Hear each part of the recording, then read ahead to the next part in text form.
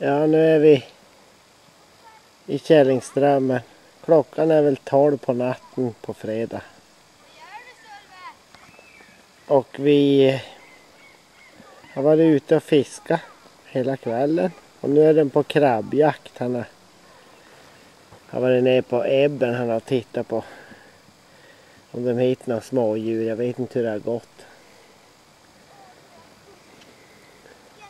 Vi har fått ganska bra vid fisk så att nu ska vi försöka gå och lägga oss kanske så vi orkar imorgon. Men de har varit ihärdiga ungarna. Och jobbat hårt idag. Ore. Andreas Marklund har en fisk. Men jag vet inte hur det går. Han är så våldsam. Han vill ha upp fisken så himla fort så ibland då lossnar den på vägen upp. Hallå Jarro! Ja. Vi har ett fantastiskt vackert väder idag. Alldeles stilla lugnt på fjorden. Och Olle han står där vid lillspö och kämpar på vid någonting. Det här är jättejobbigt.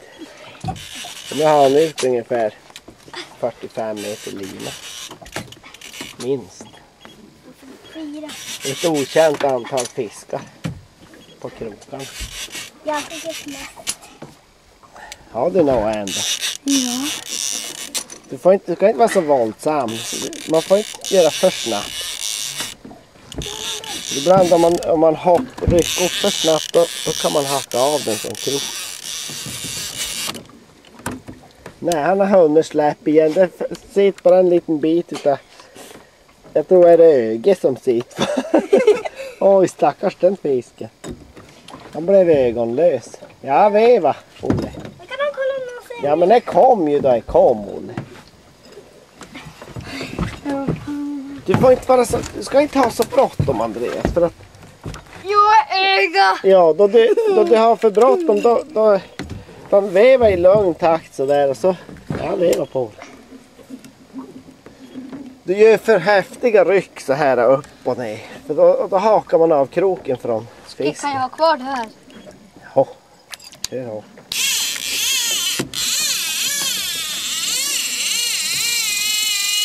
Men vilket väder vi har alltså. Har du på lax Olle? Innan. Veva. Alltså grejen är den Olle. Jag berätta vad som är problemet? Du har fyra fiskar. En helt gäng. Han fick fyra på ett drag. Ja, på samma sväng. Det var inte illa. Det var han där.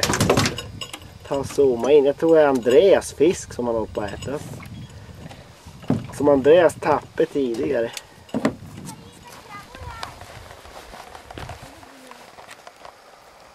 Ja, det här är ju gode likt Norge.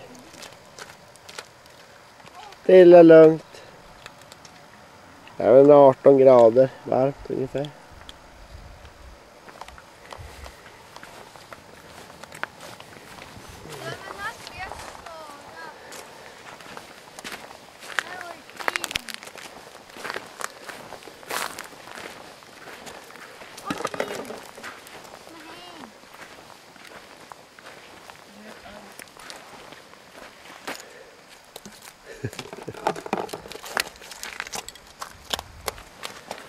Det finns ganska mycket hemma att spara.